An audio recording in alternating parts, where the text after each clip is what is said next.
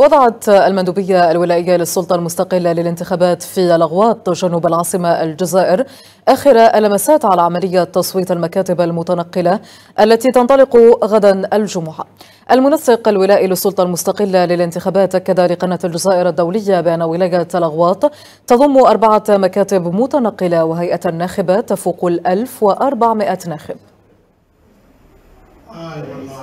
بخصوص التحضيرات آه، التي قامت بها السلطه الوطنيه للانتخابات المتمثله في المندوبية الولائية للسلطه الوطنية للانتخابات لا تنفك أن ولاية الأغواط تعتبر من بين الولايات الجنوبية التي آه، تحتوي على أربع مكاتب متنقلة مكتبين ببلدية سيدي مخلوف ومكتبين ببلدية حسرمل حيث آه، تضم هيئة ناخبة إجمالية 1864 مجمل هذه المكاتب المتنقلة حيث مكتبين بحسرمل منطقة بلال يضم هذا المكتب 471 هيئة ناخبة ومكتب بالزبير يضم 417 هيئة ناخبة.